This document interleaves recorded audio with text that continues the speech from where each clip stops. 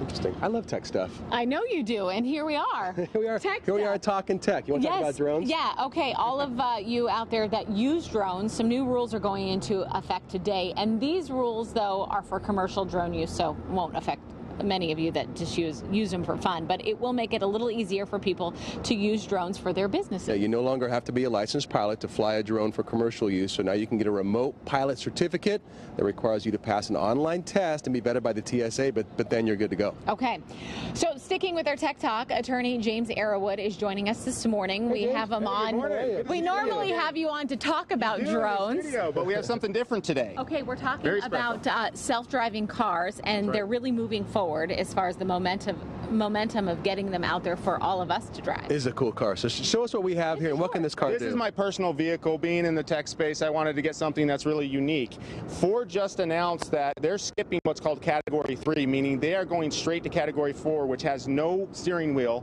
and no gas pedal.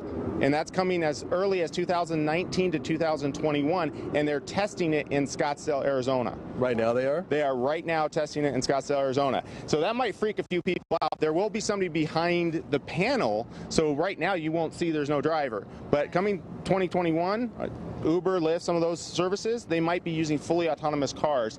They're using them today in Singapore. In the US, because of laws, they're trying to roll them out. But Ford has shaken up the auto industry by saying that they're going to skip category three. This is category two, which is the most legal on the road today, and I'll show you what makes it special. Yeah, let's go ahead. Just point out some of these features because looking at the car right now, this looks like a normal car. That's right, and that's part of what they want. They don't want it to be obvious. But in the grill, what you can't see, there's radar embedded in the grill. What does that see? Well, the radar actually sees other cars in front of me. So that helps with what's called adaptive cruise control, which slows up or, or speeds up the car when you're in traffic, for instance.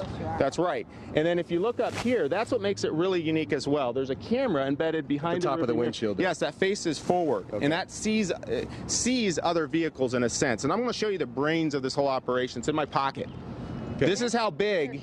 This is how big the brains. Now, this isn't exactly what the Ford brains are, but it's a similar idea. What you talking? Is that a computer chip or whatever? This that is you're an saying? integrated chip. Okay. And this whole this unit here can control almost all of the functions that come up with autonomous vehicles. So as And we'll far show as you a little demo we have right here, by the way. Okay. So imagine if you took off the skin of a vehicle. Mm-hmm. This is kind of the, the very basic nature of what goes into an autonomous vehicle. So the brain is here with the GPS right here. Then you have antennas and receivers.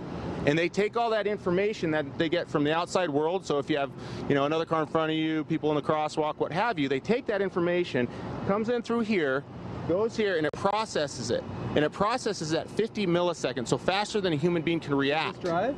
That actually will drive. We don't have it set up to drive this second, but we can bring it back someday. And oh, it's awesome! It's awesome the stuff we can do with it. Rules, Yeah. regulations, laws, and things like Yeah. that. You're totally fine with with The- the- driving the that. category two that I have here, this is perfectly legal. Do you have your hands Okay. on the steering wheel when this is driving?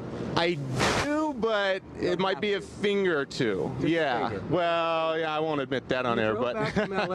I drove back from LA, and it actually gets boring, to be honest with you, because just sitting there. you're kind. eh, You have to interact some with the category two, and they intentionally did that. They didn't want to make it fully autonomous because there's liability issues there. Right. But w- they're going to make that jump very soon. So in the next three or four years, people are going to be shocked at how quickly this happens. And wouldn't rules and regulations obviously have to change to accommodate those category fours with the auto- level of autonomy, right? Because Right, that's- that's a whole I'm different. not crazy about the idea of the car having no steering wheel. But, here, at but all. here's what I have to tell you. So I was just in LA. I came in at midnight tonight driving back with this, and it was in there. But somebody made a great point in LA.